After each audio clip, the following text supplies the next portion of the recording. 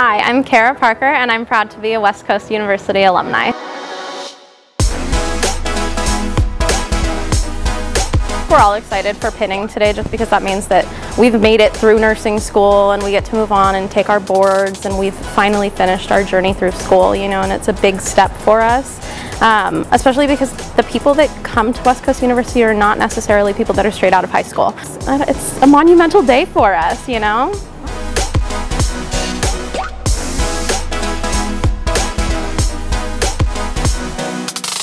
Our cohort is uniquely and I don't know. We're just unique in that we're extremely close and we've been since the beginning and we've all throughout core had each other's back and really looked out for each other and I think you know the amount of people that are done with pin or done with school and at pinning today is kind of uh, a display of that.